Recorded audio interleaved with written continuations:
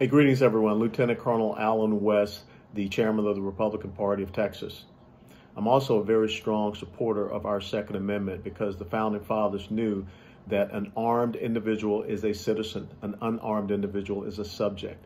And right now, we have a bill that's so critical in the state of Texas, HB 1927. Texas is on the verge of becoming the 21st state to have constitutional carry, which means that if you pass a background check, BATF Form 4473, you don't need to go to the government to get a permit to carry your firearm.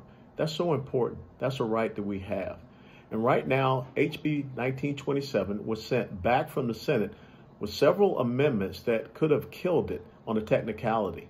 And last night, for whatever reason, House Democrats did not allow it to be killed on that technicality.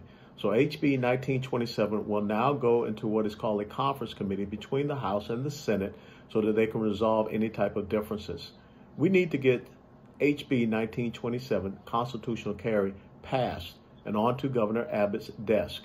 And so what I would ask you to do is to make sure that you call Lieutenant Governor Dan Patrick and the members of the Texas State Senate to ensure that we get a clear vote on HB 1927. I would have preferred that it did not have any poison pill amendments attached to it, but thanks to House Democrats, seven of whom crossed across party lines to vote for HB 1927 out of the House in the first place. So this is a bipartisan issue. We all should stand for our Second Amendment rights, for our liberty and freedom, especially when we see what is happening on our streets with the defund the police movement, Antifa, Black Lives Matter, all of these seditious, subversive groups that are out on our streets.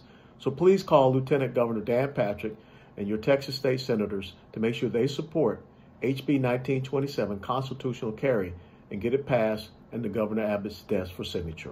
God bless you all. God bless Texas. Thank you.